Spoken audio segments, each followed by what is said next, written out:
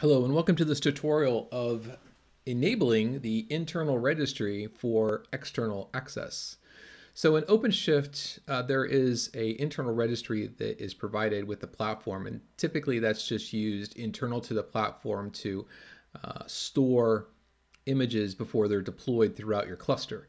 However, if you want to use it and maybe make it part of a pipeline that you do a build and just push your images directly into OpenShift, uh, you can do that. So in this tutorial, we're going to show you how to enable it so you can upload and interact with it using either Docker or Podman. I'm just going to use Docker. And then I'll be able to connect to my internal registry and uh, push images that I will want to use um, there. Okay, so let's get started with that. Uh, the first thing we have to do is uh, there's just one string to enable the uh, the registry, and we're going to set the string to uh, default true. I need to quickly log. Well, I think I'm already logged in. Let's see. Let's see. Get nodes. Yep. All right. So here's the string here. Um, and I've already done it. That's why it says no change. Uh, I'll put it in the description below. I'll also link the documentation so you'll have that. Uh, but what's going to happen is it's going to change the default route uh, to allow it to expose to true. And what that's going to give us is if we come over here to projects and we scroll down to uh, do to do image registry, we'll now see a route here that has this very long route name, right? Default, because it's based off of the wildcard, right? So default route, OpenShift image registry apps.openshift.redcloud.land, blah, blah, blah. So a really long uh, registry here, which means that this would be our, our host name that we would log into. So if you were going to log into this, it would be like, um, you know, uh, Docker login, username, password, uh, and then this um, default dash route dot i mean the whole the url and you can see how that would be a little tedious because your images that you transfer into that registry would also need to be tagged that name right? So if we just do a quick example here we'll say uh, docker pull um, let's see uh, we'll just do this uh, minecraft. Uh, just as a just as a test right? So we've got a pulling down an image now um, and we will push it into uh, into our internal registry. But what I want to do first is I want to show you what I'm talking about about, about this name here. Uh, you can use that obviously if you just set it as an environment variable. Uh, you can add it into a script, no big deal. It'll just uh, append that very long URL um, to your to your tag, but you'll see that it's kind of a pain. So what we're going to do is I'm actually going to create another route and apply my own TLS uh, certificate and key to it so that I could have a shorter name like registry.redcloud.land. And that's, that's, so that's what I'm going to create. Uh, but first I just want to kind of illustrate it. So I'm going to um, uh, go ahead and let's use Docker images. We should see that Minecraft there. Whoops, pardon me. There we go. All right. So then if you wanted to, again, tag it to push into this, I would need to tag it the full thing. So it would be like um, docker tag. Um, and then I need this whole, let me grab that name here. Whoops. it's not what I want. Uh, I need the route and then the host name. And then it would be like your project, say Minecraft. Well, let's, yeah, yeah, that's fine. Minecraft, Minecraft is the image name.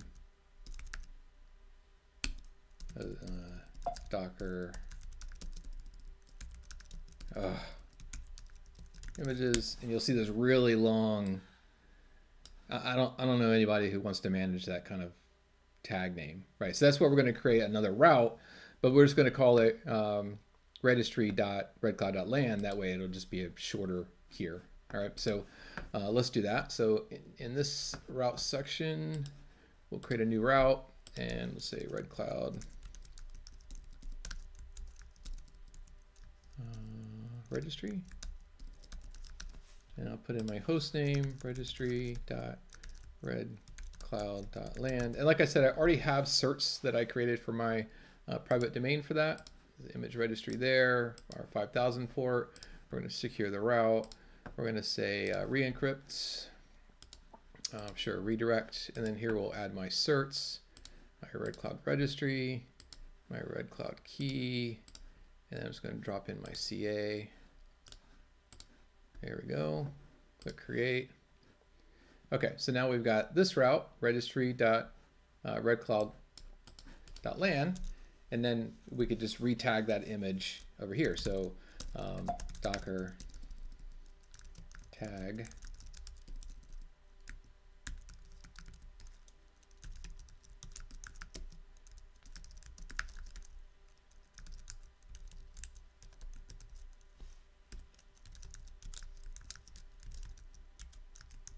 Okay, so uh, why this says Minecraft Minecraft, uh, I could, let, let me, uh, I'll just do this. Uh, mind uh, project Minecraft. I don't want to make that, yeah, that's fine. I, I wouldn't necessarily do this if I was doing it for real. But what I want to emphasize is the fact that this name here will will correspond to a project that we create in OpenShift that this image will be stored inside of. Right. So if we say Docker images here, we'll see that this is a little bit better to, to deal with, right? So uh, I'm going to Docker remove this extremely long tag Oh. Do do do.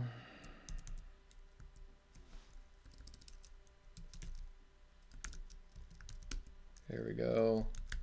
Clear. I hope you're able to follow along here, Docker images. All right, so now we've got the image that we pulled down uh, from the Docker Hub, and I've got uh, it retagged into registry.redcloud.lan project, blah, blah, blah, right? Okay, so now we need a project. So let's go ahead and we'll create our project over here. And I called it uh, Project Minecraft. Create that. All right, so now we got our project, Project Minecraft. You'll see that there's nothing actually in it. Uh, we're gonna, we'll, we'll, we'll, do all that later. All right, so let's go ahead and log into our internal registry. And for this, it's best to, uh, A, I'm gonna use a user, um, but B, you wanna fetch a token for that user, so it's easier to log in uh, with, it, with a token. Uh, I already have a token for, the, for my user, um, so I'm just gonna log in with that.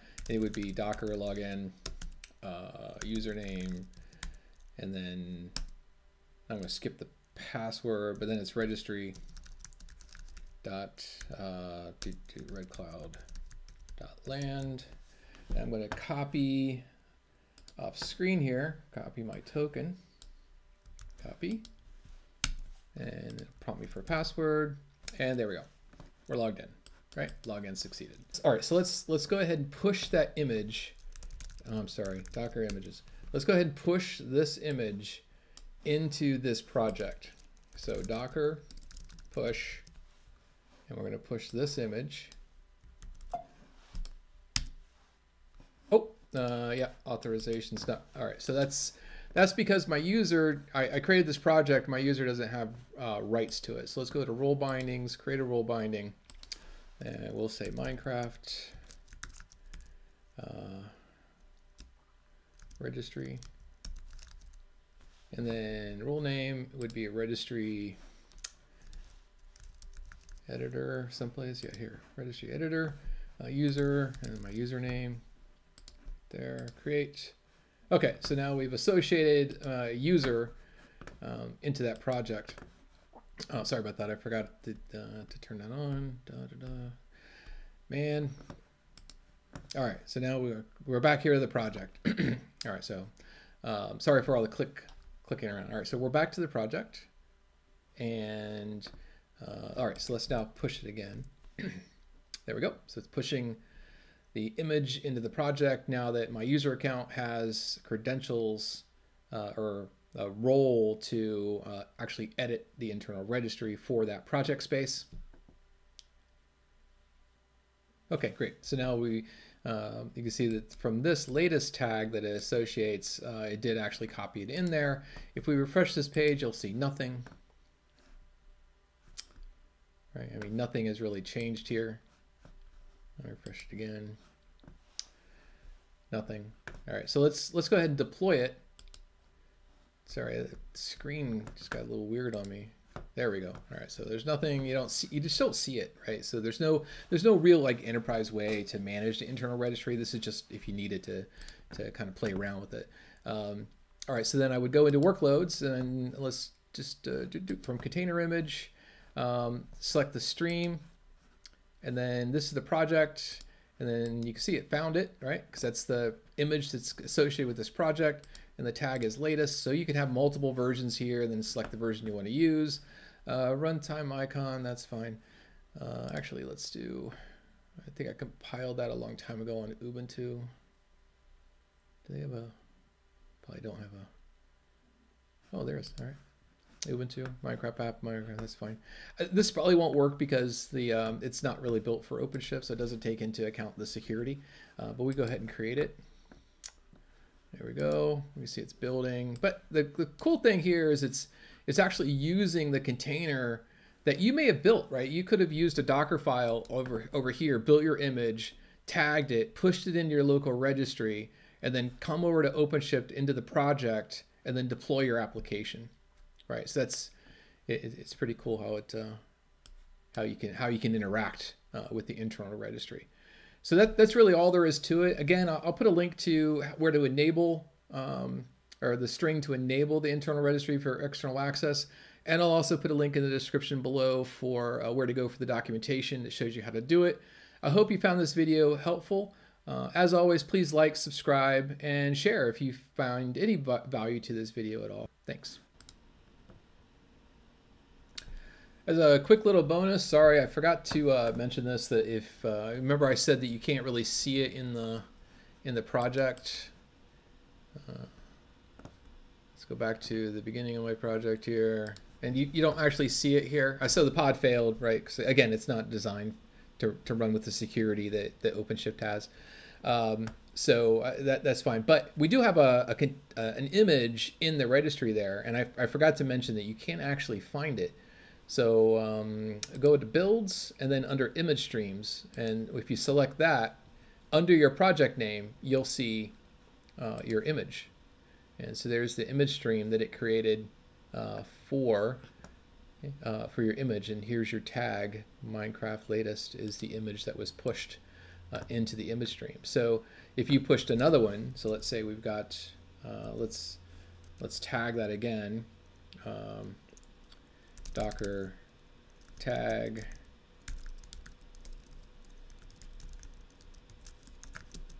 And then give it that same project name.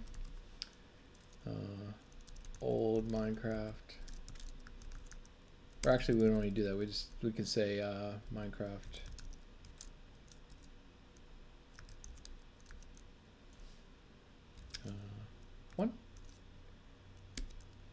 and then docker push.